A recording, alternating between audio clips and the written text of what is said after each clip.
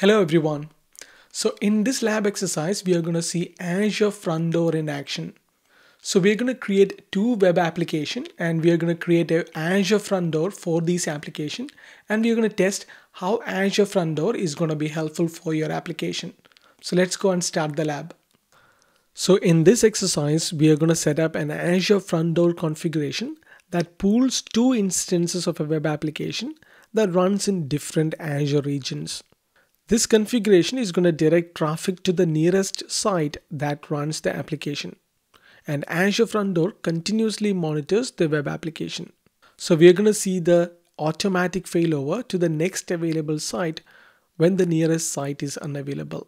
So this is an example diagram what we are going to simulate just now using this lab exercise. The high level tasks we are going to perform in this lab include creating two instances of a web app create a front door for the application which is running on this web app and we're going to see the Azure front door in action. So let's get started. First go ahead and create two instances of a web app. Use the global search box and type in app services and select app services and click on create. We're going to create a new resource group called Contoso resource group. Give a name for your web app. I'm going to call it as web app contoso-3 to 1. Under the publish, select code, runtime stack, we're going to select .NET 3.1, operating system Windows, region, the first one we're going to pick Central US. Scroll down, under app service plan, click on create a new app service plan and I'm going to call it as my app service plan Central US and click OK. Under size, click on change size. Under production, I'm going to pick standard. Click apply and hit on review and create. After the validation, this is going to create our first app service web app. Click on create. So while this is happening, I'm going to create one more. So I'm going to go back to app services. So while this is creating, I'm going to click on create another one. Again, I'm going to keep the existing subscription. This time I'm going to choose the same resource group. Scroll down and I'm going to call this web app web app contoso-3212. Under publish, select code, runtime stack, .NET Core 3.1 LTS, Windows operating system, but in the region, we're going to pick a different region. So, so this time we're going to pick East US. Scroll down to find the app service plan. I'm going to create a new app service plan. This time I'm going to call it as app service plan East US. The other one was Central US. So click OK. As you can see, our other deployment for the app service is completed. So we'll go back to that later. Click on change the SKU and size. I'm going to pick production standard S1, hit apply and click on review and create. So our second deployment will just now start after the validation. So click on create. All right, so now while that is happening, let's go back to our app service plan. I'm going to go back to home page, click on app services. I'm going to hit refresh. As you can see that the first web application is being created. It's created in central US and it is running. So second deployment is in progress. So soon we will see another one just below this, which will be running in East US. All right, so looks like our deployment is complete. I'm not going to go to resource. I'm going to simply refresh this page all right, so looks like both of our app services are created and both are running in two different regions. One in central US, one in central US and another one in east US. Now that the first task is completed, let's go and do the second task, which is create a front door for your application. So let's head back to the Azure homepage. In the global search box, type in front door. So due to the frequent Azure changes, you may need to select the Azure Front Door or Azure Front Door and CDN profiles. So sometimes it it used to be Azure Front Door, Front Door. Now it is known as Azure Front Door and CDN profile. So select that. We don't have any Azure Front Door and CDN profiles. So hit plus to create a brand new one. So in our case, we are not going to create the Azure Front Door offering, the first one. We are going to explore other offerings and click continue. So make sure you select the default subscription resource group. We are going to select the Contoso resource group we've been using and the location by default it picked up central US that is fine and click on configuration so under the configuration tab first click on front end domains and click on this plus icon and give a host name I'm going to call it as contoso-frontend 321 and I'm going to leave all other values as default and click on add.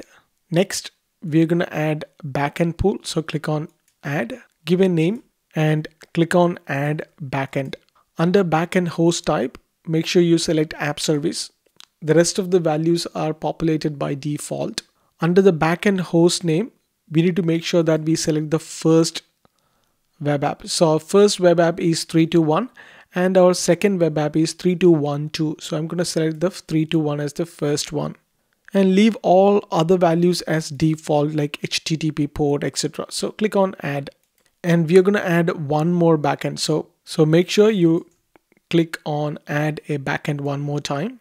Here again one more time click on add app service. This time instead of the first app service I'm going to select the second app service and leave all other fields as default and click on add and click on add to complete the process. So now we have added the front end and domains and backend pools. The next step is to complete the routing table. So hit on add on the routing table. Give a name for your routing table. I'm going to call it as location rule.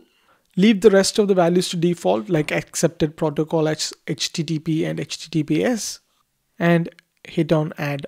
So our front end configuration is completed. So we have our domain, backend pools, and the routing table. Now hit review and create. After the validation, click on create. Alright, so our deployment is completed. So click on go to resource to just verify if you want to verify something for about the deployment. Now that we have completed the task two, the final task is to verify and view the front door in action. So let's go and do that. So let's go to all of our resources and find the front door we just created. So click on the front door we just created and under the overview pane, make sure you find the front end host address and copy that.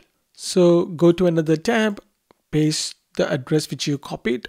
So now this is automatically routed to the nearest server to you from the specified servers in the backend pool. So now we had, if you remember in the backend pool, we have two servers configured so if you remember in the exercise, we created two web app and we have added both of these web app in the backend server. So let's go and find out if this is working if we stop one of these uh, server.